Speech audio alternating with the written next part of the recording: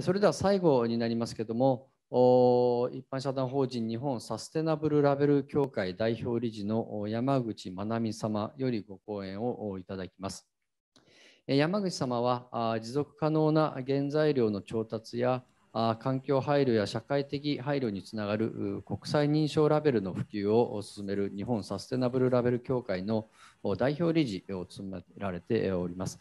ラベルの普及により、エシカル、倫理的ということだと思いますが、エシカルな生産、流通、消費を促して、持続可能な社会の実現に貢献すべく活動されているというふうに聞きを読んでおります。有機農業など環境に配慮した農業で生産された農産物を消費者が選んでいくそのためには農業者の取り組みを消費者に伝える仕組みが重要です。山口様からは有機食品市場が拡大している、まあ、ヨーロッパなどにおけるラベルの状況それから日本における消費者のラベルの認知状況などを踏まえましてオーガニック市場の現状と将来をどう見ているかということについてお話しいただければというふうに存じます。それでは山口様どうぞよろしくお願いいたします。ご紹介 ありがとうございます。日本サステナブルラベル協会代表の山口まなみです。え画面共有させていただきます。よろしくお願いいたします。はい、え今回はこの貴重なあのセミナー、勉強会シリーズをお招きいただきありがとうございます。えオーガニック市場の現在と将来展望というところの中で、まあ、国際認証とサステナブルラベルから見るというところで、皆様と少し共有していきたいと思います。えよろしくお願いいたします。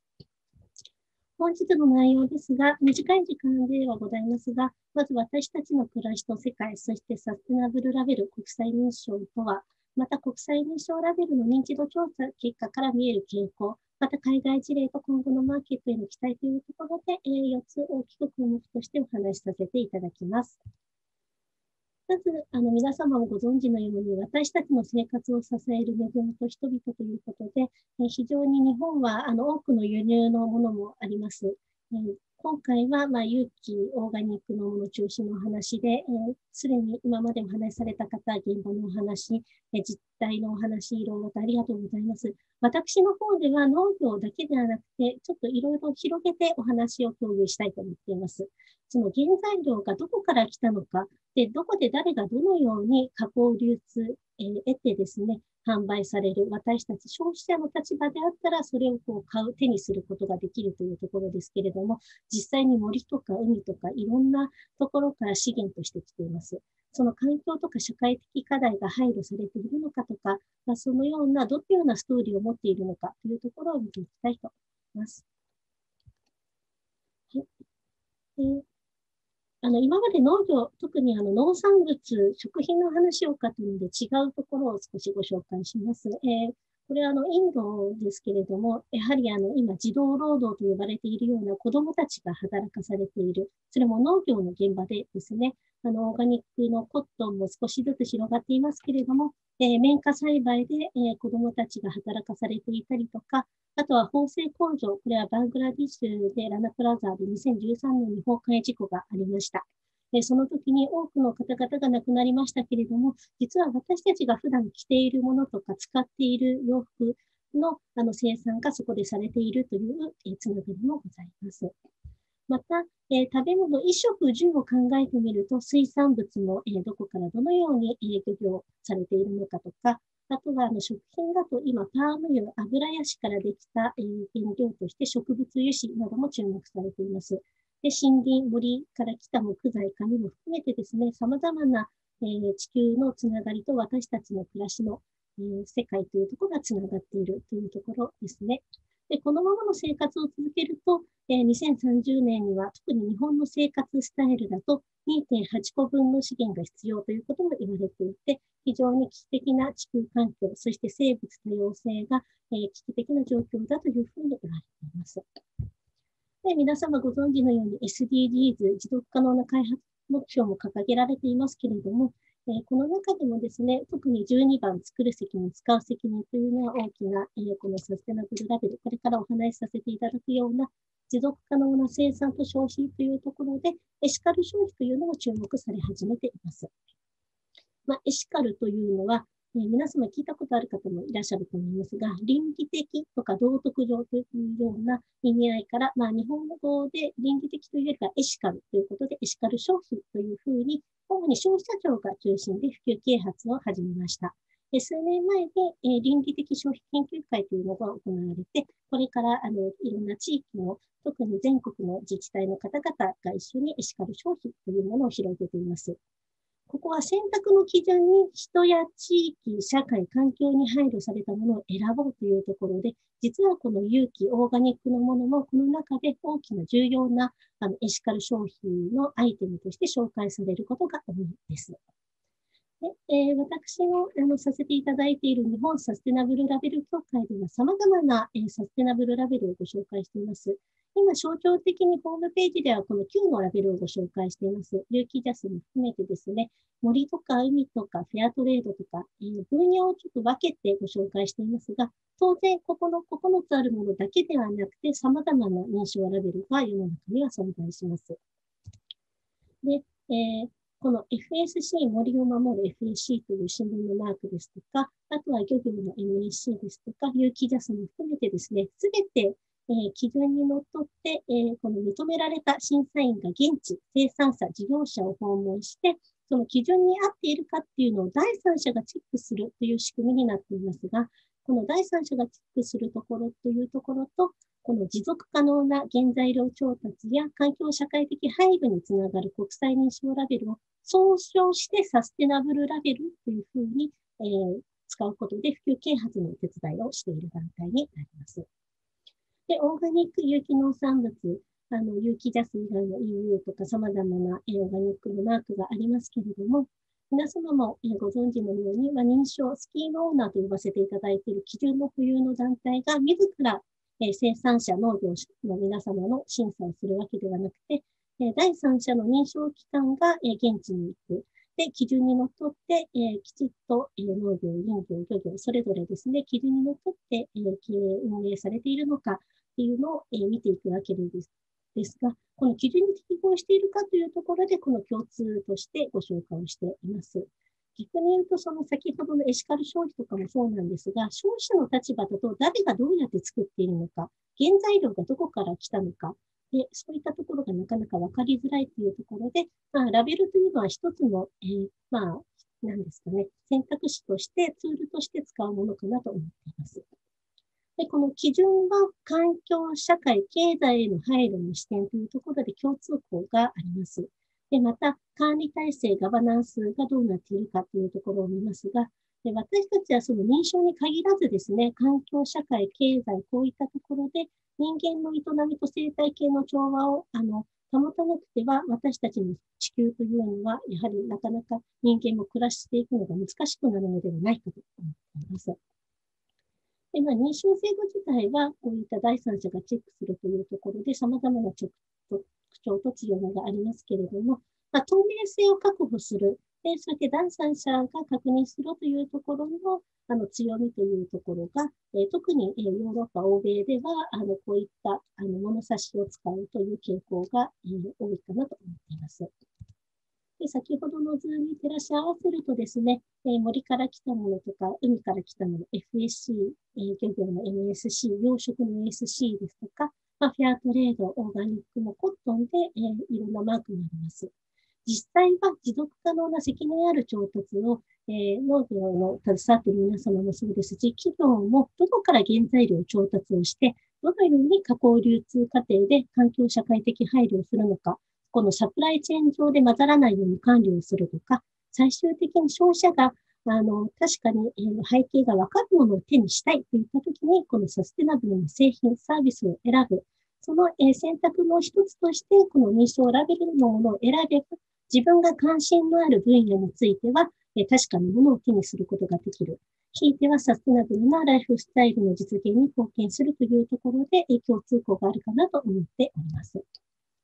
でこの衣食住ですね、特に私の活動でいろんな消費者の方とか、えー、学生の方と活動することもありますが、朝起きてから寝るまでの間に様々なものに私たちはあのこう囲まれて恩恵を受けて生活しているんですけれども、あの、農業に関係している方は農業にすごくあの強いんですが、例えば水産とか林業とか木材とか他の製品についてとか、他の業界ところのつながりがなかなかなかったりっていうところで、えー、私たちは衣食住という生活者の視点と、あとは業界の垣根を越えた活動の手伝いをしています。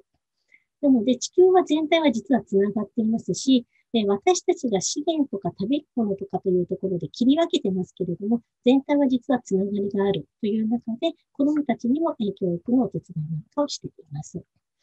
え認知度調査を実は昨年させていただいたので、少しご紹介させていただきます。先ほど9のラベルであなたが見たことがあるマーク、認証ラベルを選んでくださいといったところ、実は有機ジャスが60.7%と一番他のラベルに比べて認知度が高い皆さん知っている、見たことがあるということが、えー、挙げられます。逆に言いますと、他の認証ラベルに比べても多くの方が知っているという強みがあるのではないかと、大きなポテンシャルがあるのではないかと思います。また、マーク付きの商品を購入する理由としては、環境エコにいいからという理由と、あとは自分に対して健康、美容にいいから、また SDGs に貢献していそうとか人権とか、そういったところの関心が、え、ある傾向が出ました。あとですね、よくあの認証製品が高いとか、あの値段のことをまずあの議論に上がることが多いんですが、消費者の視点で言うと、購入しない理由が高いだけではなくて、実は種類が少ないとか、味やデザイン、性能が劣るとか、まあ、どこで買えるかわからないとか、認証ラベルがいいかどうかすらまずわからないみたいな理由が挙げられました。こういった様々な視点での対策をしていくことで、あの、マーケットが、あの、広がりが出てくるんじゃないかなというふうに思っています。で、まあ、買い物は、これはコロナの前だったので、スーパーマーケットが非常に多いんですが、まあ、オンラインのショッピングも含めて、えー、買う方が増えていると思ま。たもう一つの傾向としては、これは FAC、新認証についてだけちょっとデータが、あの、今お見せしてますけれども、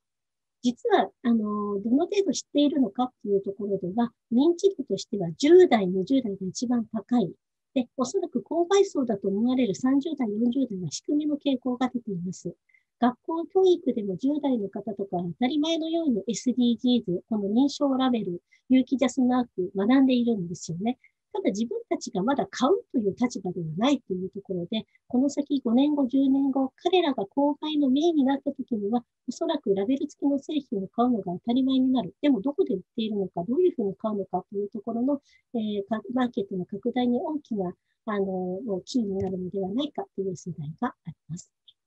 また、見たことがあるなっていうところで、学校教育という話をしましたけれども、フェアトレードのラベルなんかもですね、あの、学校で教わる方が多いので、見たことがあるだけではなくて、あの、きちっと内容を知っているとか、説明できるとかっていう割合が、10代、20代多く、えー、少しずつその割合が増えてきているように見えます。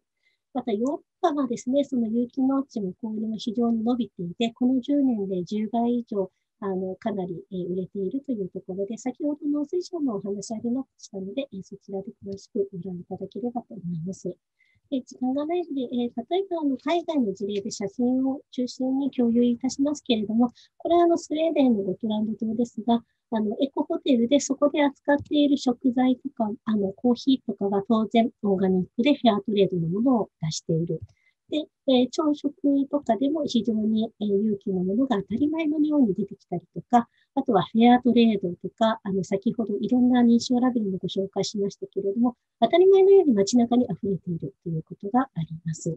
で、実際に手にする製品というところも、例えば、これはあの、コープさんですけれども、エコのコーナーであったり、水産物もそうですし、実は認証ラベルを多く、えー、一覧にしていろんなところに掲示をして、消費者に対するコミュニケーションを盛んにされていました。なので、えなるべくこういうものを選ぶとこういう意味があるよ、こういうふうに貢献できるよというような形で、コミュニケーションをやはり同時にしていかないと、ただラベルをつけた認証を取ったというものだけではなくて、その先にあるマーケットの拡大というところも、いろんな、あの、まあ、企業ですとか、人々ですとか、え、連携していかなければいけないのかなというふうに感じています。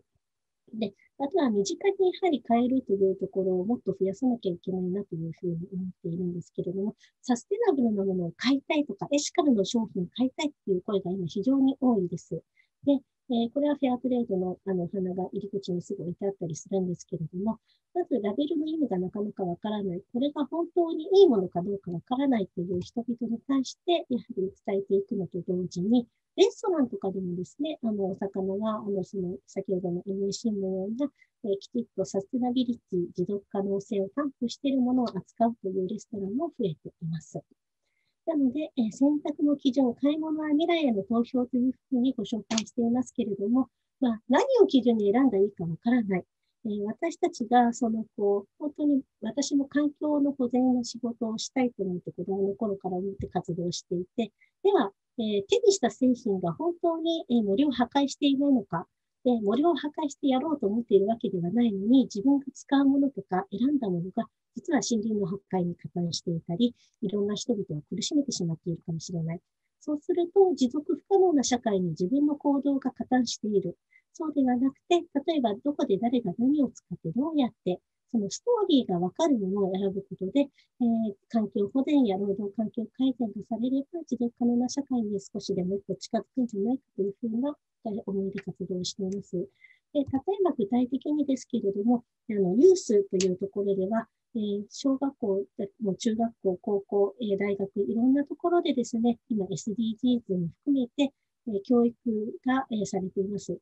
サステナブルラベルスクールというのを、え、高校大学生と一緒に企画して毎月勉強会をしたりしていますけれども、え、先着150名とありますが、学校の先生や、え、高校生が多く、あのやはり自分たちの、え今後の未来、地球環境が、え悪化しないために自分たちは今何ができるのかっていうのを学んでいます。で、実際に学んだらそれを行動にどう移したらいいのかというところで、例えば昨年はサステナブルライフスタイル宣言というシンポジウムをさせていただいたり、え企業とあのユース、えユースクラブを、え設けていますので、そのユースと一緒の共同のプロジェクトをさせていただいたりとか、えなるべくですね、その普及啓発の発信の先にある行動に移すというところのお手伝いを我々はしています。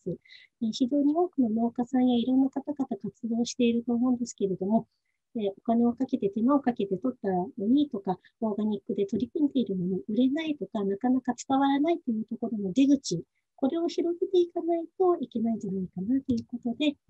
先ほどのストーリーの透明化とあのサステナブルライフスタイルというところでは、あの、まあ、持続可能な責任ある調達を企業向けにはどういうふうな調達方針を設けて、どういうふうに、企業が、どこから調達すべきなのか、で、加工流通のサプライチェーン上でどういう配慮が必要なのか、まあ、認証がない世界もあるんですけれども、まあ、認証は一つの選択肢に過ぎないので、まあ、ストーリーがわかるもの、ちゃんとしたサステナブルなものを選ぶという資料作りで、企業の行動という生産と消費の活動のお手伝いをしています。で、ひいてはやはり、あの、今、特にユースもそうですけれども、サステナブルとか、あとはエシカルファッションとか、いろいろ特集が雑誌でも組まれるようになって、女性向けの雑誌でも必ず何かの雑誌では特集されているぐらい、えー、今あの、とても流行っているというのは変な言い方ですが、えー、サステナブル、エシカルのものを選びたいという消費者が育ちつつありますので、ぜひその中に実は有機、オーガニックっていうのは、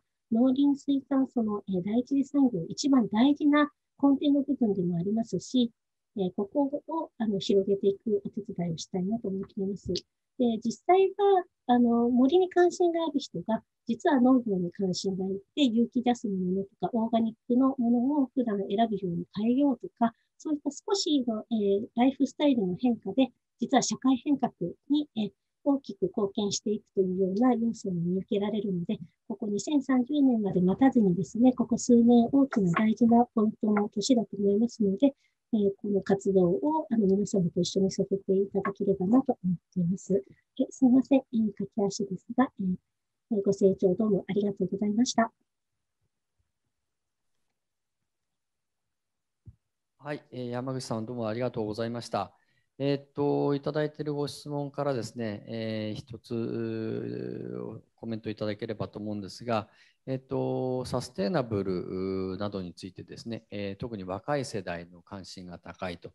いうようなコメントがありますけれども、これについてですね、山口さんあの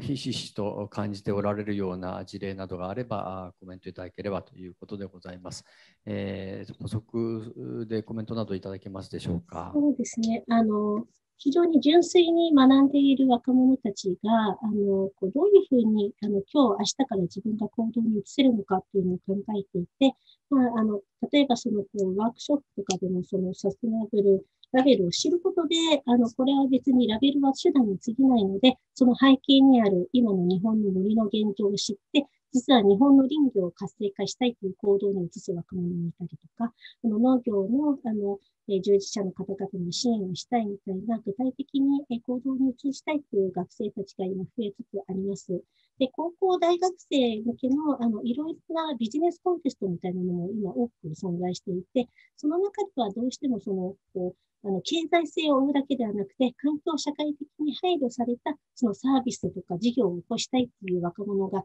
今増えてきているので、えー、非常にあのこれからが楽しみだなと。逆に言うと、私たち大人の世代がうかうかしてられないと言いますか、きちっと彼らに応えられるような世の中を今のうちに作らないといけないんじゃないかなというふうに、えー、感じています。ありがとうございます。はい、ありがとうございました。えー、他にも質問をいただいておりますけれども、この辺で次に移らせていただきたいと存じます。どうも山口様ありがとうございました。